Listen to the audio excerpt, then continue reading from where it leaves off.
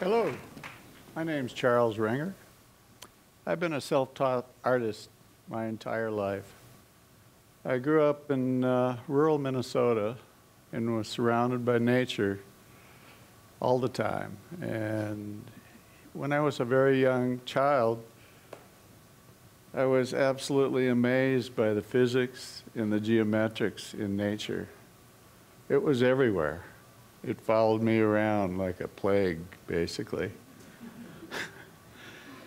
After high school, I went to the University of Colorado for about a year. I met my wife, Emily, and uh, we, well, I didn't really like the education system, so we had, I decided I would try something else. So we moved to California and got married, and uh, I decided it was time to get off the yellow brick road a little bit. And uh, so we decided, well, let's build a truck that we can live in and a trailer that was my studio space. And uh, we lived like that for, well, about three years, traveling around with a cat. We'd go north when it got hot and south it when it got cold. That was my studio, pretty small. And uh, traveling around like that, we discovered there were all sorts of very interesting characters all over the country. And we would meet them and, you know, have a relationship with them for a while before we moved on. And uh, my style of work at the time was doing little figure sculptures that were like drop at a time off a welding rod, little bits of sheet metal and uh, wire and things like that, uh, as in this type of work. And very intricate, uh, showed the characters that we met along the way. And over the years, I probably did a couple hundred of them. Another version here. And they were a little cartoony, but, uh, you know, I'd never seen anything quite like them, so I don't know. I figure I'm just the medium for this kind of work. I get these ideas, I go from a mental state to a uh, physical state with it, which is quite a trick. After a while, we decided um, that it was time to have a home base. So we happened to be in Montana at the time, and we were driving through Joliet, where we've been for 45 years now, and uh, saw a for sale sign in a junkyard and decided, wow, that looks good. Maybe we'll have a bathroom and a shower after three years.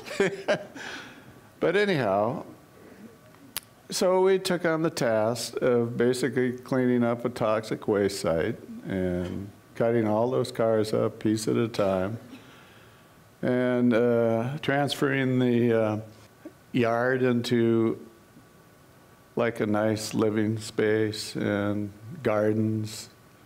And uh, I had uh, a much nicer shop. And even having like a, uh, oh, a gallery space, of course. And then a getaway space, which is pretty important for me to, you know, all that urban stuff up front. I can go to my backyard and kind of just melt off into the ozone since I'm a pretty good daydreamer. Um, my talk is basically going to be about the process of creativity through the trial and error method. And so this, I didn't really have any education in this. It was just kind of a natural instinct. And I think everybody has it.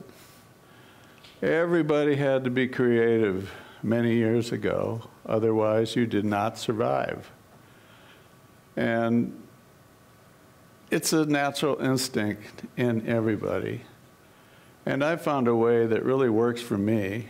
Uh, to, you know, a lot of people say, I can't get motivated, whatever. Well, you know, I think it starts in a process where first you have curiosity.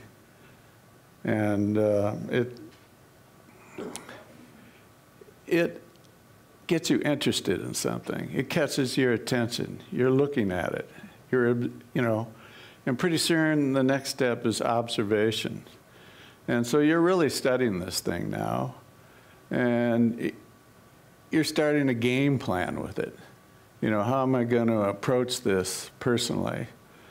And the next step is motivation, which sometimes is hard.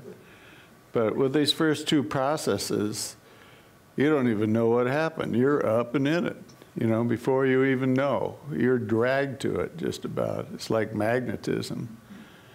And then you get into experimentation.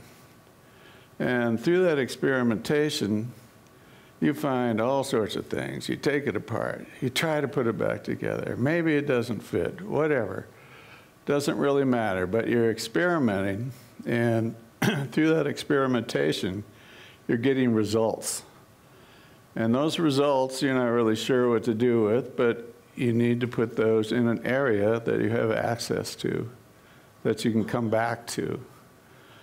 A lot of this, for me, I mean, you, you have a goal and you think, well, that's where I need to go. And not necessarily. Uh, maybe you need to pay bills or something. You actually have to get to the goal and sell that product, whatever. But for me, once I'm motivated and I'm headed towards the goal, I see so many different directions I can go. Maybe midway, wherever. There are dozens of different directions to go. And some of those are strong enough that you just go that way and you completely forget the goal. And it's an important thing to be able to do that. Sometimes you don't have the luxury, but a lot of times what you really want to do has no connection with what you thought you were going to do. It's kind of like having stepping stones in the fog where you can't really see ahead of you very far, but as you motivate, the next steps become clear. And it's a process, it's like a wheel. You progress, you're going somewhere, you're evolving. It's a very critical part of that. And so, you know, along the road, you're going to have enormous amount of failure. And uh, you really know, have to need, know how to deal with that. And for me, I take a failure and I channel my anger or emotion or whatever is involved with that back into my process. It goes back into curiosity. I go, well, what? And then uh, observation, you study it and you go, hmm, Pretty soon you're motivated. Pretty soon you're experimenting again. And now you have new results because you've taken this thing apart, you've found out what's wrong, and you fix it. Or at least you know what not to do next time. And of course, there'll always be a new challenge, a new failure, a new whatever. But when it's recycled back into this process of creativity, through this other process of curiosity, observation, experimentation, and putting your results somewhere, uh, you really see a process of evolving. And this is, this is personal, you know, this is, this is personal stuff because you aren't good to anything unless you're good to yourself first and you have the self-confidence to be who you are. There are enormous amount of social distractions that get in the way of this. And it's just common. There's so many people out there, but you've got peer pressure and greed and, and, and power and expectations. And you're in a very defined world that it's like you get stuck on a conveyor belt and you can't get off. And to be yourself, you have to get off. You have to get off of that conveyor belt to look at yourself on the planet. And for me, what helps with that is absolutely being in awe of flying through the universe on a chunk of rock, through infinity, at unbelievable speeds. And that can be kind of disconcerting but when you consider that you are a piece of infinity, there's some comfort in that. And there must be some method to this madness, or whatever. It's not really madness, it's just a term. But once you feel comfortable with being in an infant, infinite space, you can then become a much more responsible human being on the planet. You will look at your materials and I don't know, everything, your environment, you'll look at this entirely different. It's everybody's responsibility to have this personal thought. Everybody would be more sensitive to this if they really looked at it. Now, and that, you know, this is what I see. Back to some of my influences, and a lot of them what has been through nature.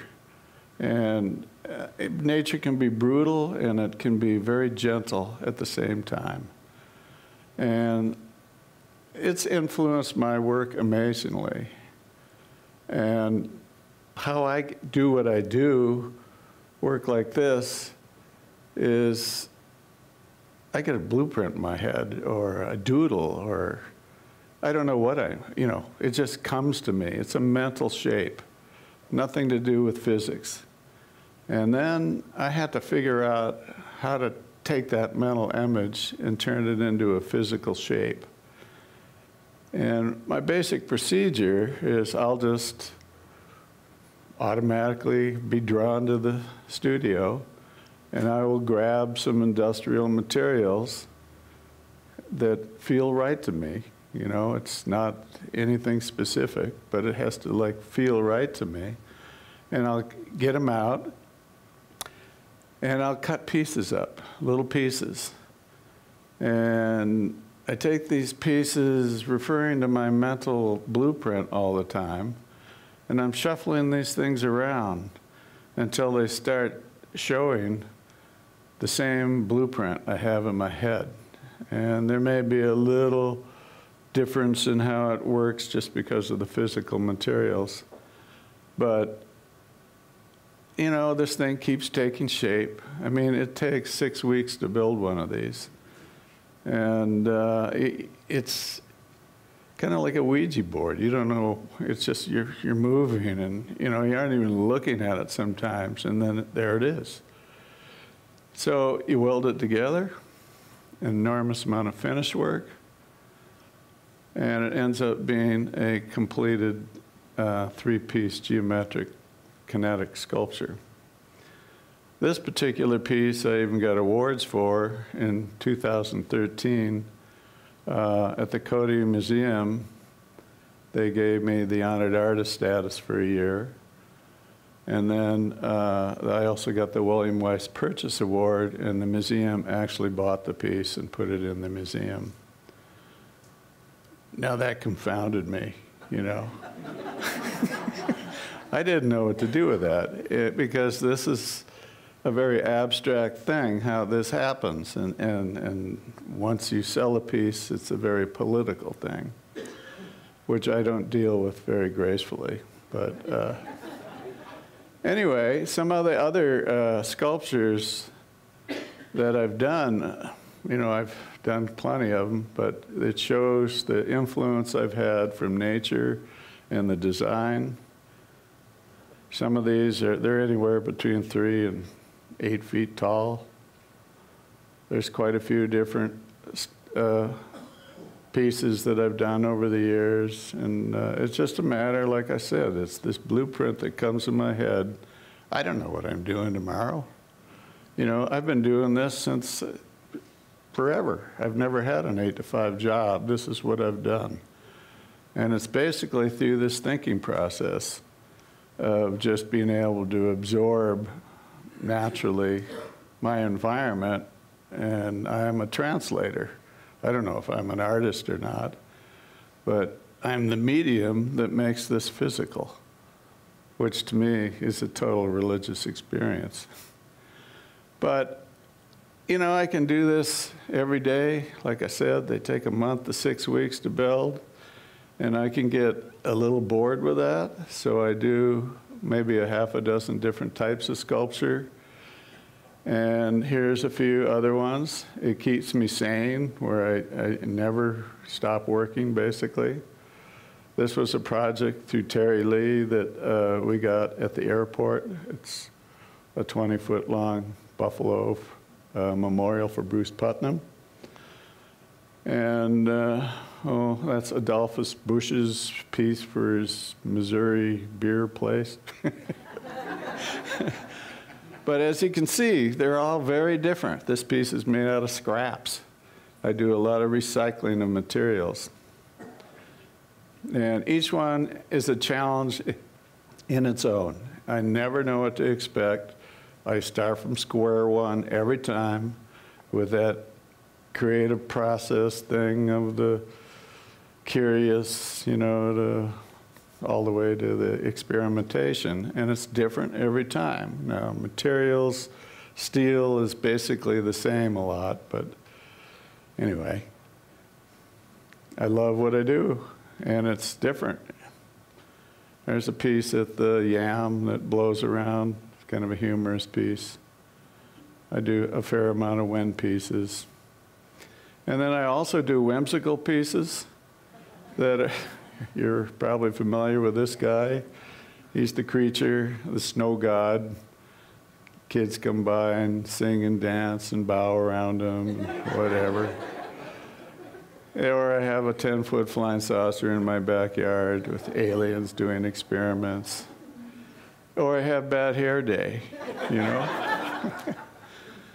but anyhow, this humorous work binds people. It doesn't matter if you're rich or poor, black or white, it's you all look at it the same. What's that? and uh, so it's a very broad range of things that I'm doing. And I've got 5,000 pieces all over the world. And none of, uh, this is all from the trial and error method. No education. Pound your thumb, learn something. And my biggest statement is uh, my lifestyle is my real art, and everything else is a byproduct. Thank you.